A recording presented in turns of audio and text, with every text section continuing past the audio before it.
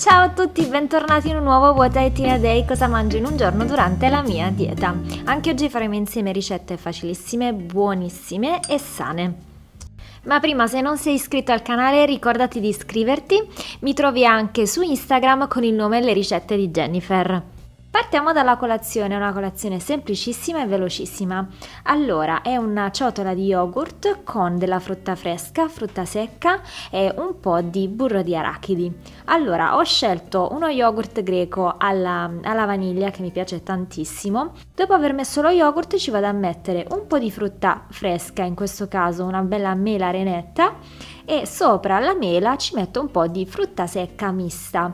Queste confezioni che vedete sono della marca di Nunzio, presto saranno disponibili online in un nuovo e-commerce, quindi vi farò sapere più in là in un prossimo video come poterle acquistare. Ci metto anche un po' di burro di arachidi, il mio amatissimo burro di arachidi al cioccolato e la mia colazione è pronta.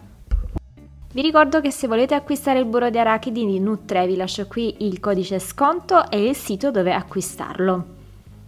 Passiamo al pranzo, oggi ho preparato delle polpettine, queste sono delle polpette di ricotta e spinaci, semplici semplici.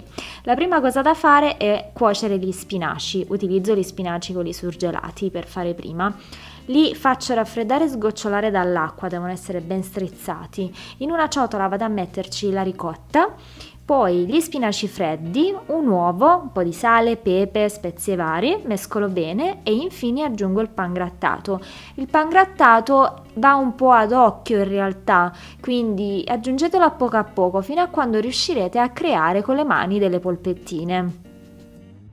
Preparate anche il vostro sughetto di fiducia, un sughetto al pomodoro andrà benissimo. Fate cuocere le polpettine all'interno del sughetto per circa 10-15 minuti, poi vedete un po' quando sono belle eh, sode e sono pronte. Ricordatevi di girarle di tanto in tanto, però non le girate subito altrimenti si rompono, quindi aspettate una decina di minuti prima.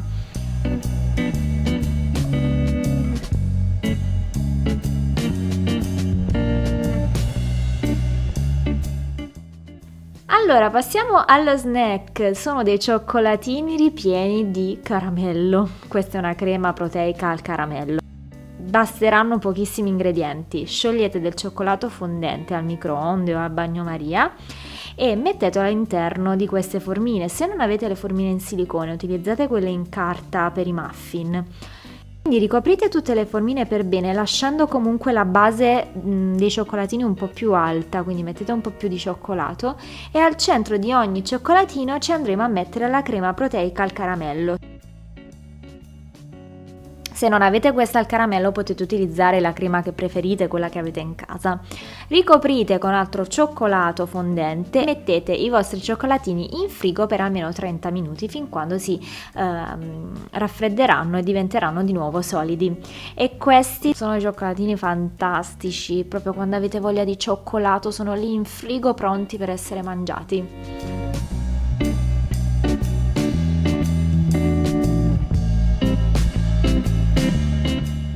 Passiamo alla cena, anche qui una cena semplice e veloce. Prepareremo insieme una piadina con petto di pollo e eh, pesto di basilico.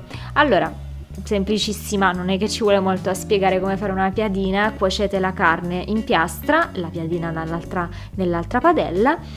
Fate un piccolo taglio di lato, ci mettete in quattro strati eh, il petto di pollo tagliato a pezzettini, un po' di insalata e un pochettino di pesto di basilico. A me piace tantissimo, giuro che col pollo ci sta benissimo. E la mia piadina è pronta. Spero tanto di avervi dato come sempre delle idee, fatemi sapere giù nei commenti che cosa ne pensate. Io vi mando un grosso bacio e ci vediamo presto in un prossimo What I Eat in a Day.